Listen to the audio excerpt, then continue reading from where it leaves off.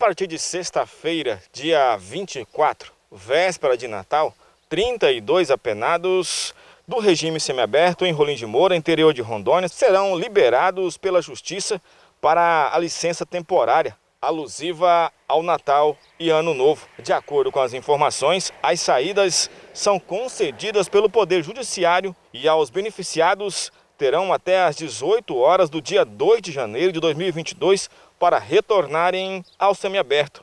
Aqui em Rolim de Moura, essa será a segunda saída concedida aos presos esse ano. A outra ocorreu no mês de outubro.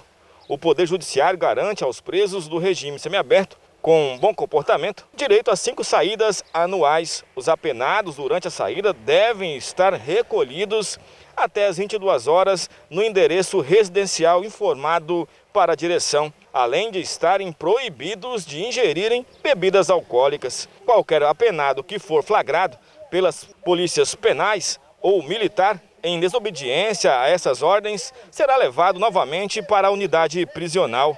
Segundo o diretor da unidade, Caso algum detento não retorne até o prazo estipulado, este será imediatamente considerado foragido do sistema prisional e, caso seja recapturado, voltará ao regime fechado. Com as imagens de Alex Feliciano, Mário Genzen, ao jornalismo da SIC TV.